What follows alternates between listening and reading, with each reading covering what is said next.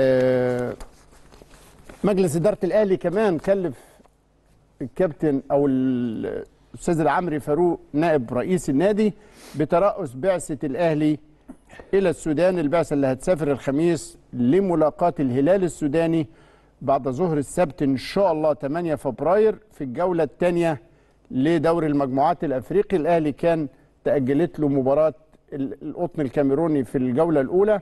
الجهاز الفني بعد العودة مساء أمس من المغرب منح اللعيبة راحة لمدة 48 ساعة ويستأنف الفريق تدريباته الاربعاء الحقيقة آه، مباراة مهمة مباراة افتتاحيه آه، على ملعب آه، الهلال الشقيق.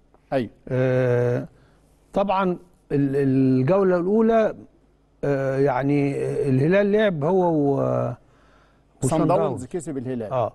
فالاهلي فاته أن يلعب هذه الجولة لأنه كان في آه، كأس العالم. أيوه ولكن تشعر أن التحضير يا أستاذ إبراهيم لهذه المباراة كان يشغل بال الجهاز الفني ها وإحنا هناك حتى في التشكيل.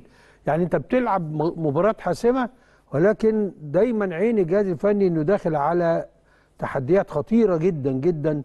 فكان في حرص على الروتيشن زي ما بيقولوا وال- والتغييرات وال وال توزيع المجهود. واه وتوزيع المجهود حتى في طريقة اللعب.